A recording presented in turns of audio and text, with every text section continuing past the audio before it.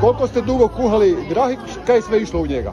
Pa ja moram reći samo jedno, e, krah se inače ne kuha predugo, znači počeli smo danas jutro u 6 sati i već je bio gotovo po 10, pola 11, ali predpripremni radovi su jako bitni. To je ono što smo morali pripremiti i subotu i nedjelju, narezati e, meso. Znači krenuli ste već za vikend.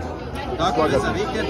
Znači tu su bile e, guljenje luka, rezanje luka, priprema mesa. Znači pripremili smo, nakockicali smo e, oko e, 100 kila šunke, ne, 150 kila rolane lopatice, 100 kila špeka, hamburgera i 100 kila kranskih kobasica podravka. E, plus e, 12 kartona e, đuveđa, tu je i pan za grah, tu je i vegeta, tu je sol, tu su i začini kao što je peršin, crvena začinska paprika, dimljena paprika, znači svi ti elementi su evo u ovom prekrasnom. Koliko je graha bilo točno? Graha je bilo 200 kg. 200 kila.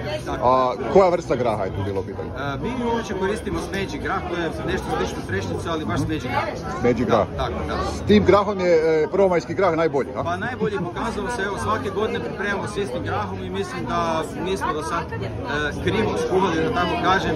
E, uvijek su bili zadovoljni, reakcije su jako dobre, evo, e, evo zaista pozdravljam sve Kopričanke, Kopričance i e, sve goste koji su danas došli na gradski trg Koprivnica gdje ćemo podijeliti 2500 porcija graha.